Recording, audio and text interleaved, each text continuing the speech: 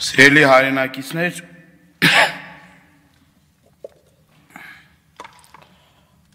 ես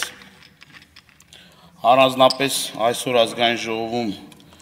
լինելու պլաններ չունեի, բայց մեր Գիրանցի սիրելի հայրենակիցները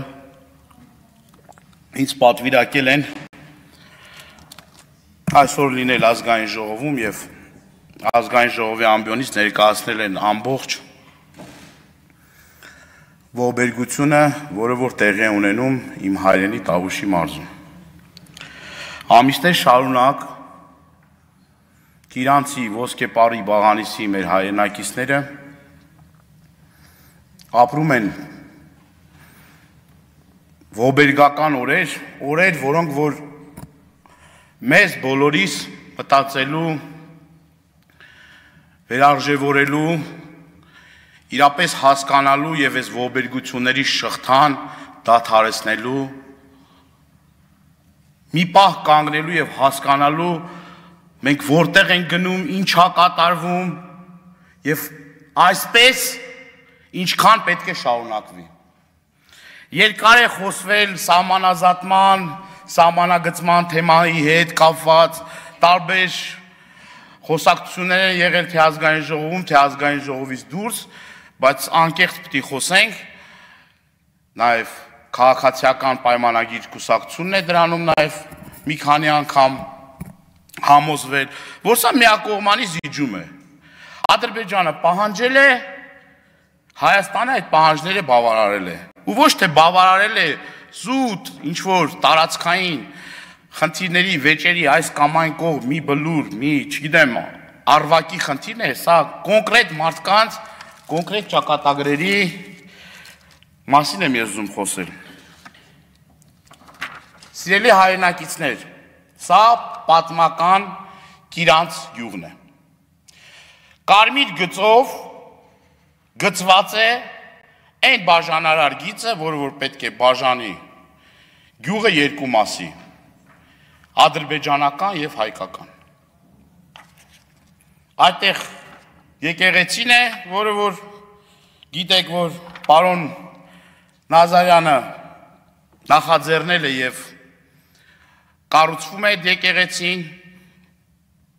որևէ մեկը համոզվելու համար կարող եք այցելել իրանց յուղ եւ տեսնել։ Դպրոցն է, որը որ կառուցվում է։ Իմ մոտ կա առնվազն 50 եւ ավել վկայականներ։ 50 եւ ավել մարդկանց, իրական մարդկանց ճակատագրեր, որոնք որ այս օրերի ընթացքում իրենց փաստաթղթով նախատեսված կադաստրով տրված, որ հիմա ասում եք դե այդ կադաստրի վկայական չկա, կադաստրի վկայական սխալ են տրվել։ Այդ մարդը, որ պապի ժառանգել է, սխալ է ժառանգել։ Հիմա որ ասեն պապի ժառանգել է, կասեն մի հատ պապին գտեք պապին։ Այդ պապու պապին գտեք, պապին գտեք, ասեք մեկի պապու պապին գտեք։ Կեղծա։ Այսինքն մարդը ժառանգել է, պապենական իր հորական օջախն ա եղել, իր պապական օջախն ա եկել, այսօր ասում եք էտի քոնը չի, էտի Ադրբեջանն է։ Դպրոցը, եկեղեցին, գոնը չի, մերը չի, Ադրբեջանա։ Սրա հետ պիտի հաշտ լնեք։ Պիտի խոնարհվեք ադրբեջանցիների առաջ եւ ընդունեք։ Հենց որ ասում են բանվտանգային հարցը, լավ, եկաք, բերեցիք, տեղավորեցիք, ջարդեցիք այդ մարդկանց, անչափահասներին, ծերերին, կարմիր բերետավորներ ուղարկեցիք, այդ մարդիկ ջարդեցին, հետո համբյուրվեցին իրար հետ, ասին նորմալ ամեն ինչ։ Ինչ լավ, ինչ կարգին գործ են կարել առաջնագիծը հանձնում ենք ճշնամուն, գյուղի ծերերին կարողացել ենք խոշտանգել, անչափահաս երեխաներին կարողացել ենք խոշտանգել, մի հատ էլ համբյուրվում ենք, որ ամեն ինչ նորմալ է։ Հիմա լավ բերիք ծեծելով, ջարդելով, այդ ընդդիմությունը չեմ խոսում, ինչ կամ այն մարդկանցից, որոնք որ այս օրերի ընթացքում անօրինությունների եւ չգիտեմ էլի, արդեն էլ ոչ падգամավորի մանդատ, ոչ մամուլի մեր ներկայացուցիչների նկատմամբ լավ այդ ամեն ինչը հեչ կարևոր չի անցել ենք այս ճանապարհով կանցնենք էլ բայց լավ բերեցիք դե նստացրեցիք այդ մարդկանց կանչել եք այդ մարդկանց ասելա բա մեր անվտանգությունը ոնց է ապահովեք ասել եք ծառ տնգեք Հիմա ազգային ժողովում Ստեղ անվտանգության աշխատողներ կան։ Այդ անվտանգության աշխատողները թող դուրս գան, ստեղ ծառեր տնգենք։ Սաղ տեղեր ծառեր տնգենք, չենք նորմալ կլինի, անվտանգությունը ապահովված կլինի։ Լավ абսուրդին էլ չափուսահման կա։ Չի կարելի սեփական ժողովրդին ծաղրանքի ենթարկել։ Նույն այդ մարդիկ հարց են տալիս։ Ասում են, բա այդ որ եկել եք, ասում եք ծառ տնգեք։ Բա որ ադրբեջանցին է ծառը անցնի։ Ասում եք 7 օր կարա չանցնի, բայց ուշադիր։ 8-րդ օրը այդ ծառը կարող անցնի։ Ծառը կարող անցնի եւ մենք անվտանգությունը չենք ապահովում։ Հիմա էլ հազարավոր ոստիկաններով ծեծ ու ջարդով երեք պիլոտային ծրագիր իրականացրիք, փառք ու պատվով 3 հատ տոմբի եք դրել, կողքն էլ ալֆա ջոկատը նստացա։ Մթոմ այդ տոմբին, որ հանեցին, ծո,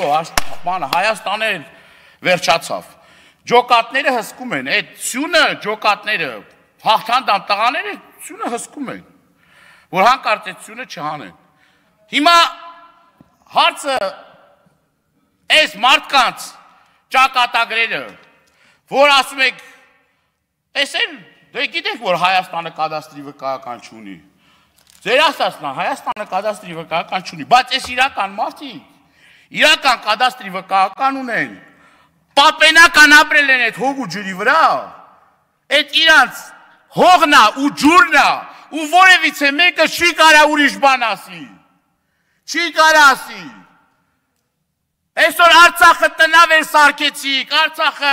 հանձնեցիք Ադրբեջանին, հիմա էլ եկել է տավուշի հերթը։ Գիտեք, որ եկել է մի տավուշի հերթը։ Գնացել եք մի հատ իրանց, հանդիպել եք այդ ժողովրդի հետ։ Տեսնում եք ինչ օրեր են ապրում այդ մարդիկ։ Ինչ վիճակում են այդ մարդիկ։ Անվտանգություն չեք երաշխավորում։ Որևիցե մի երաշխիքներ չկա որ վաղը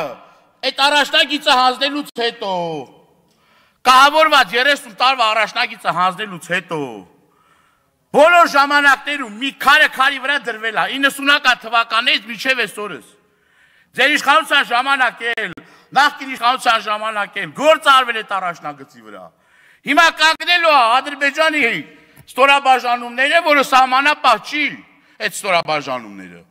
Սահմանապահի համազգեստով 6 տարի Ադրբեջանն արդեն իրա զորքերին սահմանապահի համազգեստ հացած միջև ատամները զինված է։ Ինքը ստանում է իր առաջնագիծը, մեր առաջնագիծը մեկին այդ յուղի մեջտեղում կանգնելու է։ Ստրատեգիական նշանակություն ունեցող բարձունքները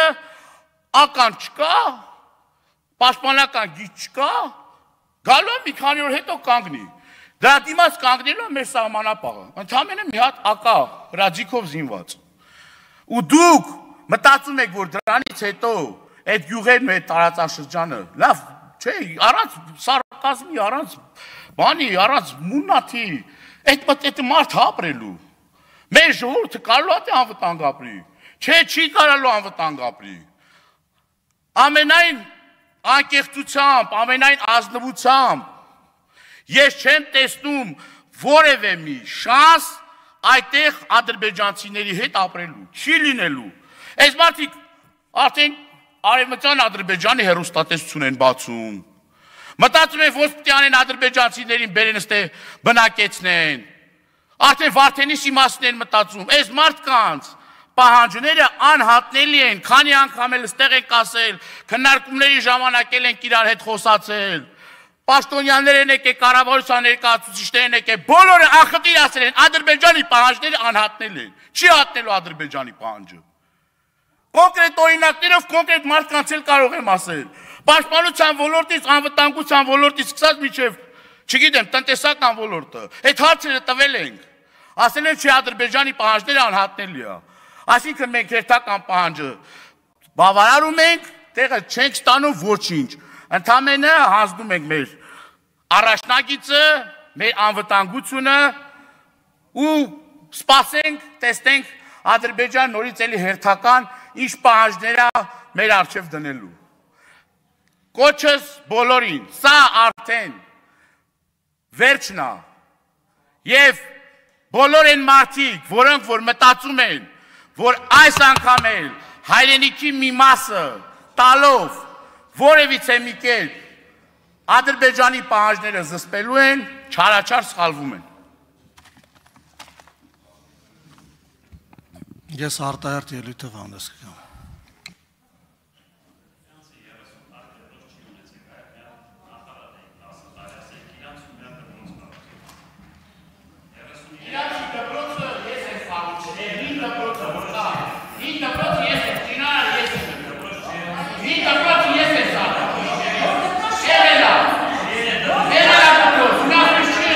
Պարոն Դանելյան։